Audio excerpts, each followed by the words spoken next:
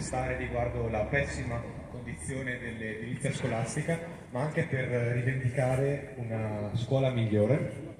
Manifestare un diritto fondamentale e la scuola dovrebbe garantirlo, anche se in molti casi non, non è così.